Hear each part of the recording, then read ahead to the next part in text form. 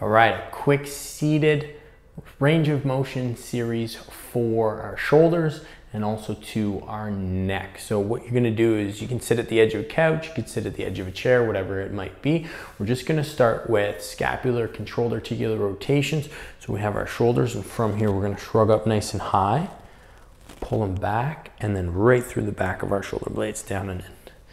Come forward again, up, back, down, and in.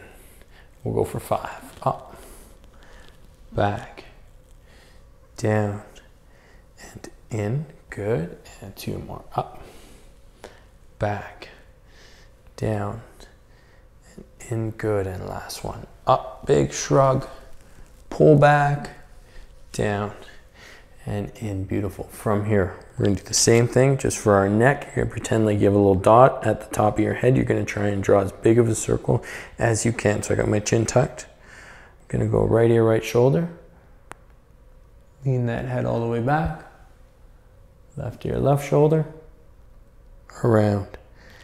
And in one again, and again. Out. Around. Back. And in two. Out. Around. Back. In three, and we'll go two more.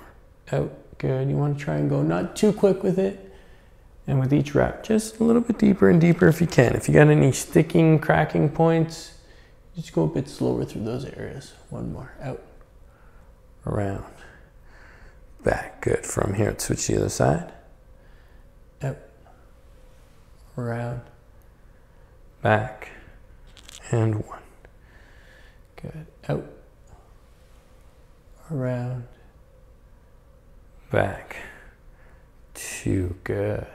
And out, around, back, three, good, and two more, out, around, back, four, good, great job, out, around, back, five. Awesome. Okay, with that, we're going to get into some stretching activating sequences. We're going to start with our neck, particularly upper trap. This muscle right here, this segment, the more upper trap gets tight, the more it could cause dysfunction for our neck and also to our shoulders. So it's very important to stretch this area.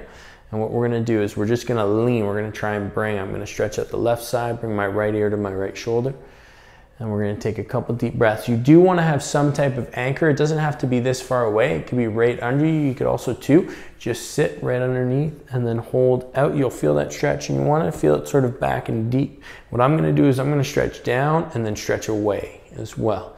So it's down and away and just hold it. Big breath in. And as you breathe out, just see if you can get a little bit deeper.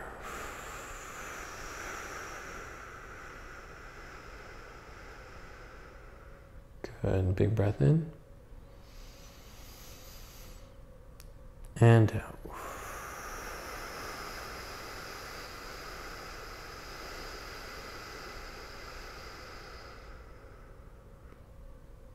Big breath in.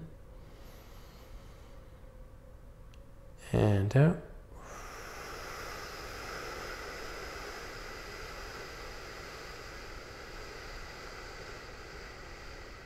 One more big breath in.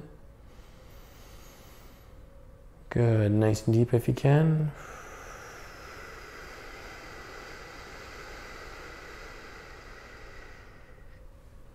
And then just slowly lift back up. Okay, what we're gonna do here is we're now gonna try and activate this little extra range of motion that we've got. And what you're gonna do is you're actually gonna bring your neck down all the way and you're gonna lengthen through that trap. And I'm just gonna slowly guide with my hand maybe like a centimeter or two of extra range of motion but also to just putting a light pressure into my hand so that these muscles stay on to help protect our neck as much as we can. So you might want to watch this first one here or you can follow along.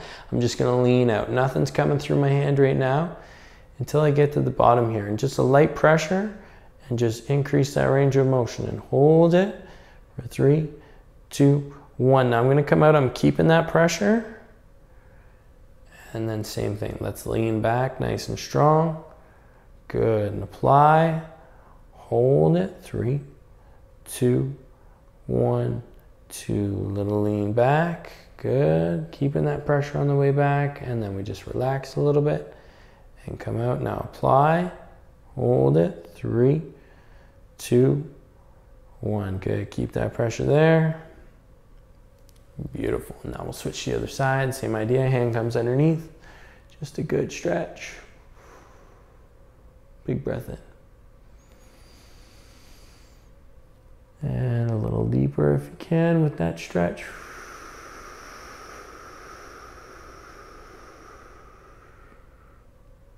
Good. Big breath in. And down.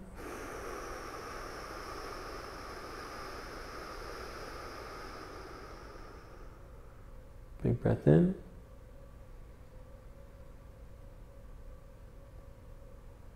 Down.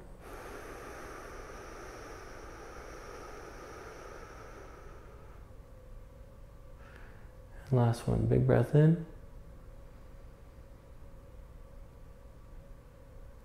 Down. Good. Now keep that pressure a little bit, just slowly come out of it. Awesome. And from here, here we go. We're to lower down. Just relaxing. Apply a little pressure. Try and get a little deep. Hold that contraction. Three, two, one. Good. We bring it back up. And then we come down. Nice and strong. And hold. Three, two, one. Keep that pressure. Back up. Good. And just relax. Apply a little pressure. Hold.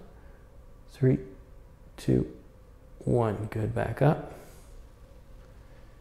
And one more. Here we go. Down, nice and strong.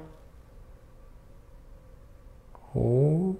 Three, two, one. Good. Back up. All right. Now what we're going to do is just a few chin tucks. So what you're going to do is you're just going to place your hand right on your chin. We're going to try and get the muscles that help to activate specifically through the posterior portion of our neck to just turn on and pull that neck backwards because as we so often see, definitely myself included, spending so much time on our laptop, we tend to relax these muscles and they let our chin hang forward. So just from here, we're going to activate. And what I want you to do is just keep your fingers where they are and then pull your chin back and hold it. It feels kind of weird. You're making like a double, triple chin. Three, two, one. And then just relax. And then same idea. You're going to pull in again and hold. Three, two, two. Good. Really feeling it right through here. And pull in again and hold. Three, two, three. Good. And we're going to go for five. Pull in and hold nice and strong. Three, two, four. Good. And one more. Pull in nice and strong.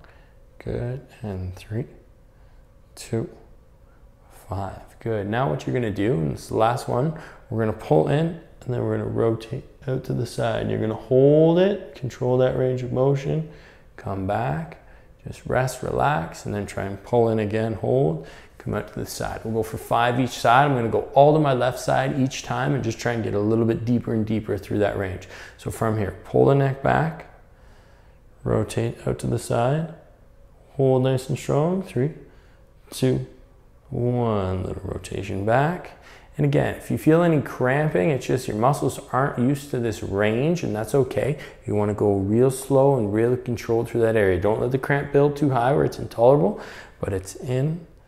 And then if I feel that cramping, maybe I just stop right here. If I can go past, I go past a little bit, hold, three, two, one, good. Back in. And again.